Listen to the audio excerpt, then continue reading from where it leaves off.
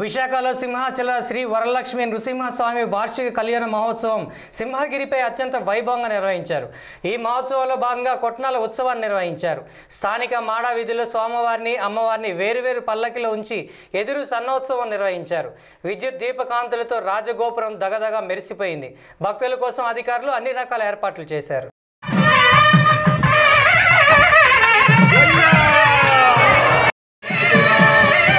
చూడండి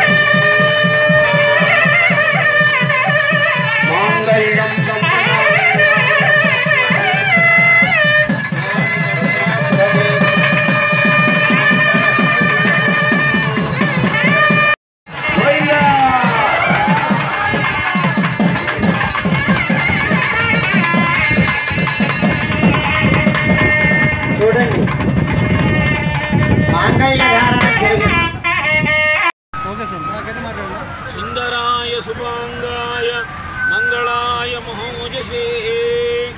సింహశైల నివాసాయ శ్రీనృసింహాయ మంగళం. శ్రీ శ్రీ శ్రీ వరాహలక్ష్మీ నృసింహస్వామి వారి దేవాలయం సింహాచల దేవస్థానం సింహాచలం విశాఖపట్నం జిల్లా ఆంధ్రప్రదేశ్. ఈరోజు మహాపర్వదినం. అందరూ ఎప్పుడా ఎప్పుడా ఎప్పుడా సింహాచలం ఎప్పుడు వెళ్ళి కళ్యాణం చూడాలని ప్రార్థనతో ఎదురు చూస్తున్నారు. ఆ రోజు వచ్చేనే వచ్చేసింది.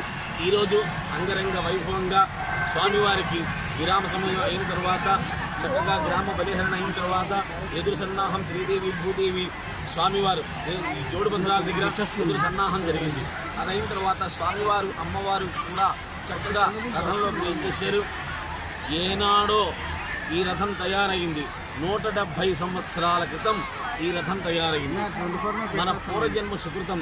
రథంలో దేవుణ్ణి దేవుడు ఊరేగిస్తుంటే మనం ఒక్కసారి దండం పెట్టుకున్నా అలా చెయ్యి వేసినా సరే మన పాపాలన్నీ పటాపంచలవుతాయి ఎందుకనగా ఈ రథంలో ఒక కథ ఉన్నది. స్వామివారి జాలారు వాళ్ళకి విశాఖపట్నం చేపలు పట్టే వారికి కల్లో కనిపించి ఆ లక్ష్మీదేవి కల్లో కనిపించి సముద్రం మధ్యలో నేను ఉన్నాను. నన్ను తీసుకొచ్చి సింహాద్రి నాకు సన్నిధి ఉంచమని చెప్పి ఆ జాలారు వాళ్ళకి ఆజ్ఞాపించింది.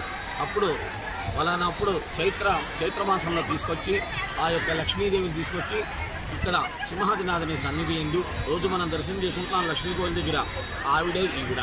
అంచేత ఇక్కడ ప్రతిష్టంప చేశారు. అందువల్ల వాళ్ళు ఏం చేశారంటే పెద్ద రథాన్ని తీసుకొచ్చి ఈ చైత్రమాసంలోనూ అమ్మ నీతో పాటు అందరూ ఆ స్వామివారి ఊరేగాలు నీ కళ్యాణం నువ్వు దగ్గరుండి జరిపని చెప్పి ఆ యొక్క ఆ జాలారు వాళ్ళకి చెప్పగా అప్పుడు వాళ్ళు వచ్చి ఇక్కడ ఉపవాసం ఉండి ఓ- ఈ రథం వాళ్ళే తయారు చేశారు. అందువల్ల నూట డెబ్భై సంవత్సరాల క్రితం ఈ రథం.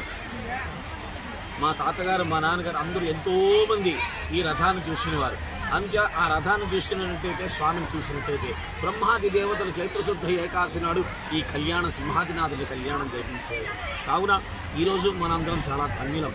అందువల్ల వాళ్ళు ఇక్కడ ఉపవాసం ఉంటారు. ఈ సముద్రం వాళ్ళకి ప్రత్యేకంగా ఇక్కడ వైశాఖ పౌర్ణమి గంధమావాస్య అంటే గంధం తీసేసే ముందర ఒకసారి చూస్తారు జలారి వాళ్ళు. మరల చైత్రశుద్ధ ఏకాదశి నాడు మరల వైశాఖ పౌర్ణమి నాడు. దాంతో వారు ఎన్నో మొక్కుబళ్ళు మొక్కుబడి చక్కగా చేసుకుని స్వామికి సమర్పించి వెళ్ళిపోతారు. అట్లాగానే అనకాపల్లి దగ్గర ఆడారి వారు. చిలుకల ద్వాదశి నాడు వాళ్ళు ఇక్కడ ప్రత్యేకంగా చిలుకల ద్వాదశి నాడు చెరుకు పంట అంతా తీసుకొచ్చి ఇక్కడ స్వామికి సమర్పిస్తారు. అట్లాగా ఉత్తరాంధ్రకి యావత్ భారతదేశానికి ఇక్కడ ఉత్తరాంధ్రలో ఒరిస్సా నుంచి వచ్చిన వాళ్ళు ఒరిస్సా రాణి కొన్నాళ్ళు ఇక్కడ ఉండి వెళ్ళింది. ఆ వైభవం కూడా ఇక్కడ వాళ్ళందరూ జరిపిస్తు జరిపిస్తున్నారు.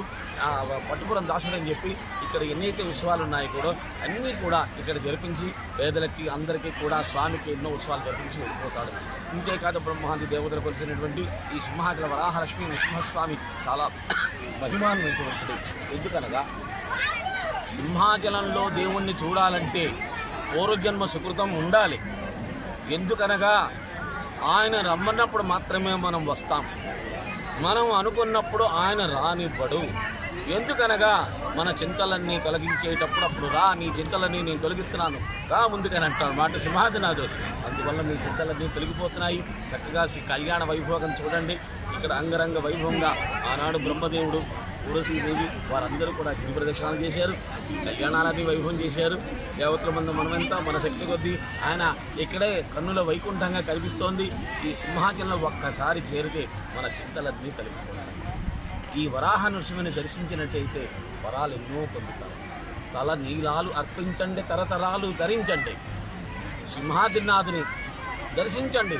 మంచి సిరిసిరి సిరులతో తల పూకండి అందువల్ల ఈ కళ్యాణం మనందరం కూడా స్వామిని చక్కగా కళ్యాణం చేయించండి. ఇంటి దగ్గర పచ్చ తోరణాలు కట్టండి. చూడండి మనం కూడా ఈ స్వామి సేవలో మనం పాల్గొని పునీతులవుదాం మనం ఆయురారోగ్య ఎవ్వడు అక్కర్లేదు మనకి. పెద్ద వైద్యుడు సింహాద్రినాథుడే.